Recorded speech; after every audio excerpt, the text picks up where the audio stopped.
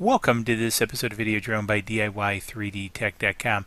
In this episode of Video Talk, we're going to be taking a look at color lookup tables, or LUTs as they're commonly referred to. Now, basically, a LUT is a lookup table that masks the color of our drone video uh, to enhance it and to improve it. And we'll talk a little bit more about that in a second, but I've at the Wikipedia page just sort of demonstrated. It's basically a mathematical mask that alters the colors because one of the things I wanted to share with you is how does the CCD actually see color and this is an example of a CCD or a CMOS, a charge coupled device or uh, a CMOS based device. And long story short, we basically have three pixel sites that collect the color, you know, red, blue, and green. And it's the values of those combined that make up the color that we see. And we can kind of see here back on the Wikipedia page how this all comes together. Now, you don't have to be a math magician to make all this work.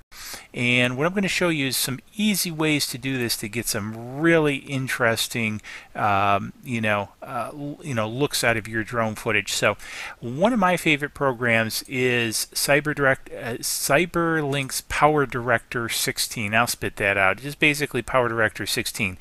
I've used Power Director for quite some time. Uh, version 16 now includes uh, the ability to use uh, LUTs inside the program. So this is a fantastic program. I'll have a link below.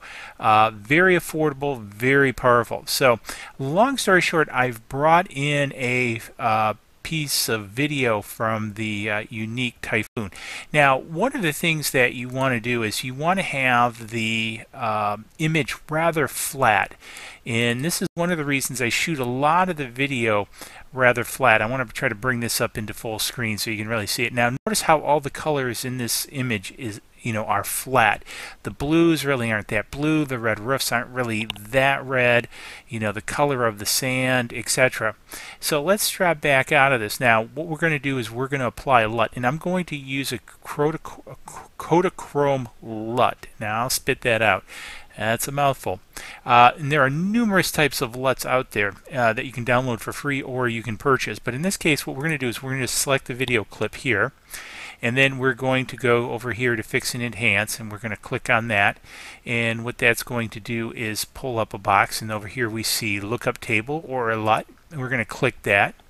And then up here it's going to say browse. We're going to browse for that LUT and so here we have the uh, K-tone or Kodachrome image if uh, I do Paul Simon any justice here. So we're going to select this and we're just going to click open now what's going to happen, you notice that this is now changed over here. So let's go ahead and make this larger. So you remember how flat the colors were? Now look how vibrant the colors are. Now it's not saying that um, you know this is the right one. I've selected this one in particular so you can see the stark contrast. Also look at the deepness of the colors of the trees, the deepness of the blue. Also if we look out here the clouds the that were basically invisible in the last one now becomes somewhat visible. So this using a LUT is a very powerful tool in shooting video or in the uh, you know uh, video drones profile. Uh, if you will. So I tell you what, let's go back and drop out of this. I've uh, already ran this clip through, so what I want to do is share with you guys a brief time lapse, about a minute long time lapse of the uh, comparison of this video with the LUT applied with the original video. And you can just see what a stark contrast it is. Now I did cut it down for time. You know this is you know roughly almost a five minute clip. I cut it down to about a minute. So there's going to be you know some um, you know transitions in it. But again the idea is just to share with you the color. So let's go ahead. Let's take a quick look at that and we'll come back for a second